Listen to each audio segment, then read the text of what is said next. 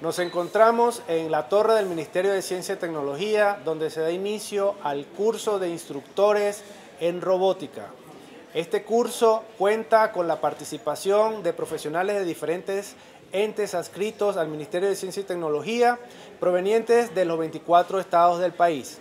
El curso está dividido de la siguiente manera. El primer día, que es el día de hoy, comenzamos con el armado de los robots y el seguimiento de las instrucciones del manual de operación.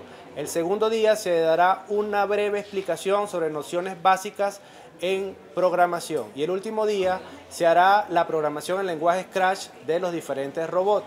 La importancia de este tipo de curso es que se intenta masificar el conocimiento adquirido por nosotros en la Agencia Bolivariana para Actividades Espaciales y transmitirlo a todos los niños del país de una manera organizada y de esta manera incentivar e inspirar a las mentes más jóvenes de una temprana edad en todo lo concerniente a la ciencia y la tecnología, específicamente en lo que se refiere a la programación, a la computación o a la electrónica.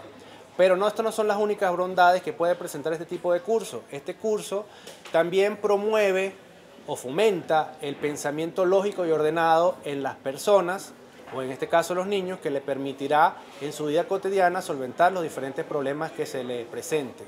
La idea final de este proyecto es, como establece el programa al cual forma parte Semillero Científico, es que germine esa semilla que en un futuro dará fruto y generará las mentes más brillantes de nuestro país.